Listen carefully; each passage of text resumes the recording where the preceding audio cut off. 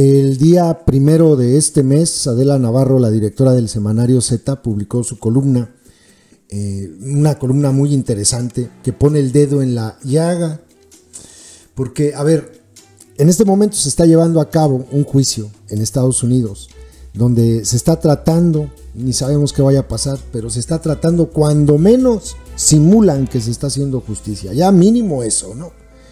Y hoy pues andan todos alborotados, todos los seguidores de López señalando al delincuente Calderón, al delincuente García Luna, salió por ahí a relucir el nombre de Fox, de Peña Nieto, a todos esos delincuentes. Y, y está bien, nada más que hay un problema. Todos estos, e incluso los testigos de este juicio, pudieron haber sido enjuiciados en México.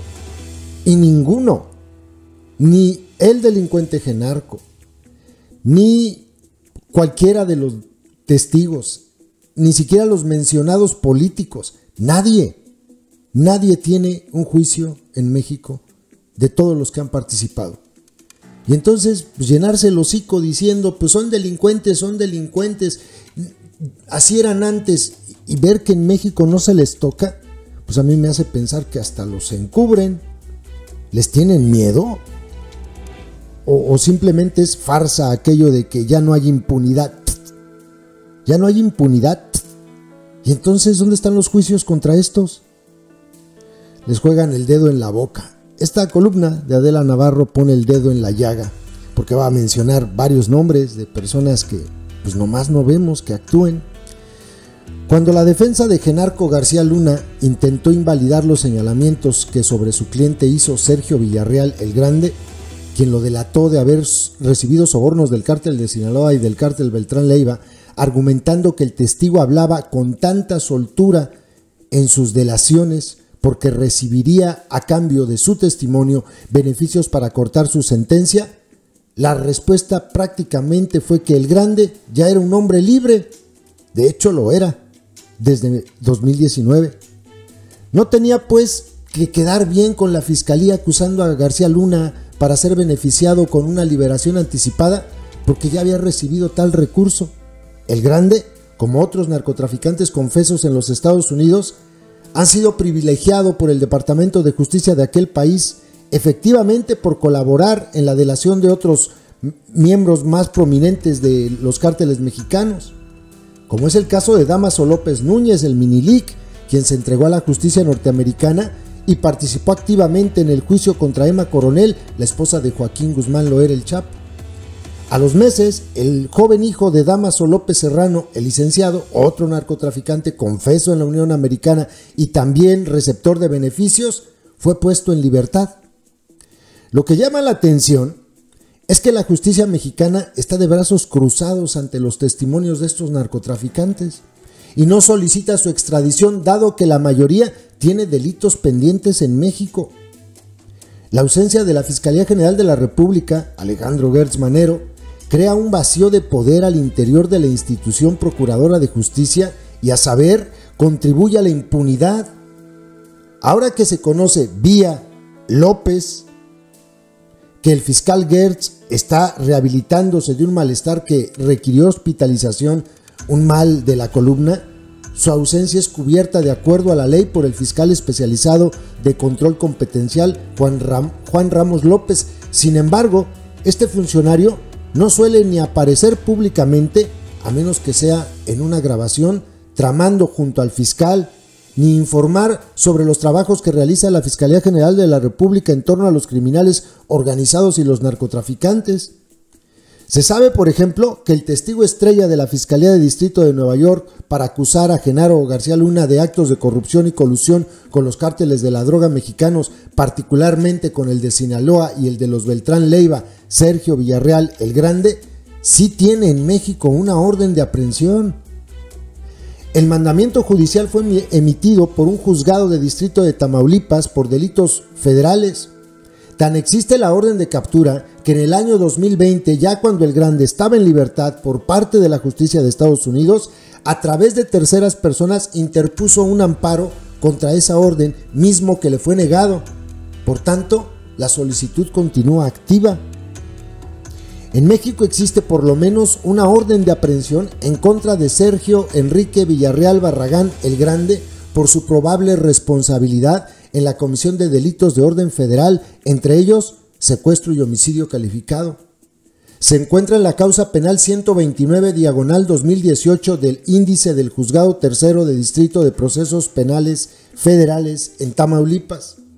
El Grande, de hecho, ya había sido señalado en México al momento de su detención en septiembre de 2010 de haber participado por lo menos en la eliminación de unas 90 personas, miembros de mafias rivales a las que servía. Se inició en el cártel de Juárez llamado Carrillo, se fue al de Sinaloa de Joaquín Guzmán y terminó en el de Arturo Beltrán Neiva. Pero ni así fue procesado en México por homicidios o por delitos federales relacionados con el narcotráfico. Y ahora que está libre en la Unión Americana, tampoco es perseguido por la justicia mexicana, pese a que por lo menos existe esta orden de aprehensión en su contra.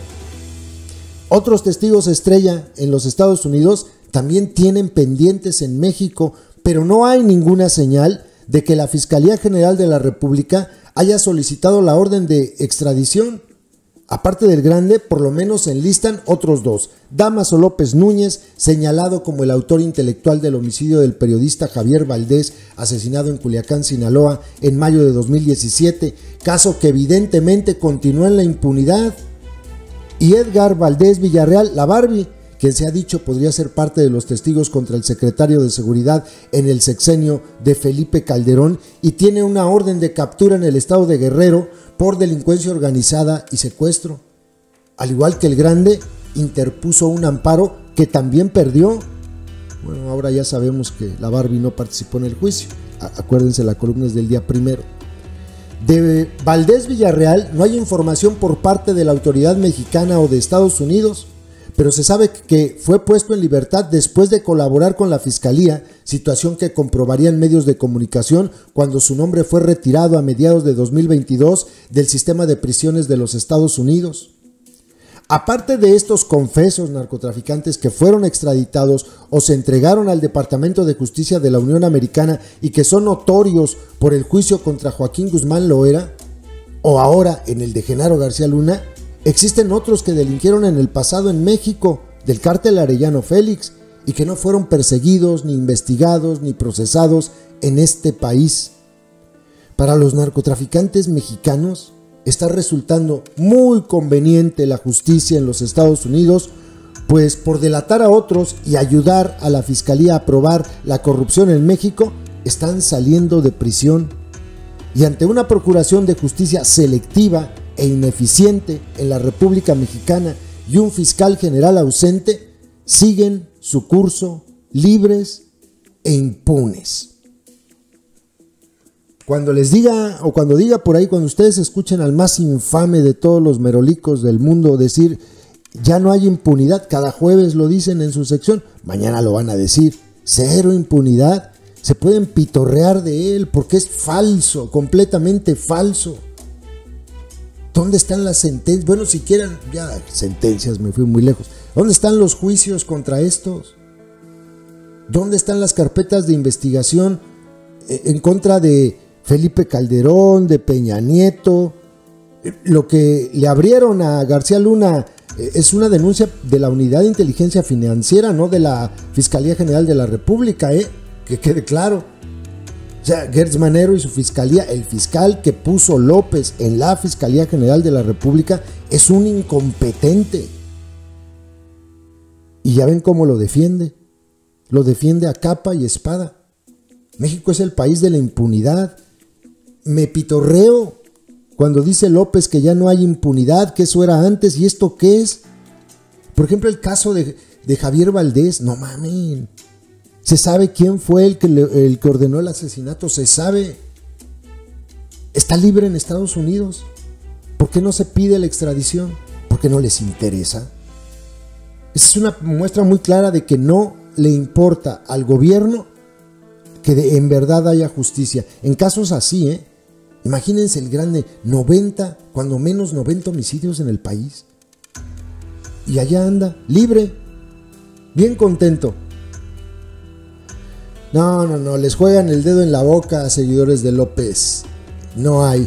Es que no, no podrían, de hecho, y los reto a que lo hagan, a colocarme aquí en los comentarios el nombre de una sentencia, de una persona que haya sido sentenciada, un delincuente de peso que haya sido sentenciado, ya sea eh, político o, ya sea delincuente que haya sido detenido y que haya sido eh, llevado a juicio y sentenciado en este sexenio. Eh, por ahí me estoy acordando de la sentencia que le impusieron a, a, a la tuta, pero pues fue el sexenio pasado, cuando lo agarraron. Ah, bueno, a lo mejor ya me acordé una del marro que es la única. Pero es que no hay más. Y todos los demás. Entonces cuando dicen, no, se está haciendo justicia en Estados Unidos, me río, de verdad me río. Estamos viendo cómo intentan o simulan hacer justicia allá, pero en México nada. En México no pasa absolutamente nada. Y le siguen aplaudiendo a la secta y al fiscal Cóndor. Lo aman a Gertz Manero, ¿verdad? Porque si López dice que amen a Gertz Manero, ustedes lo aman. Así de claro es. Si López dice que es una persona honrada y que le tiene mucha confianza, ustedes dicen lo mismo. Y no lo tocan ni con el pétalo de una rosa. Y la fiscalía y, Marcelo Ebrard, ¿qué está haciendo? Y la, la orden de extradición contra estos delincuentes, pues hay, a ver, hay órdenes de detención. Entonces necesitamos solicitar la extradición. Y eso es trabajo de Marcelo Ebrard, pero se está peleando con la ex embajadora. Es un asco la transformación de cuarta, igualita que los delincuentes que gobernaban en el PRI, los que gobernaban en el PAN. Nada más que, pues, los fieles de la secta se niegan a aceptarlo. En fin. YouTube nos hace clasificar los videos que subimos para que puedan ser publicados. En esa clasificación nos indica que los videos relacionados con el crimen organizado no se van a mostrar en sugeridos y no enviarán notificaciones cuando sean publicados.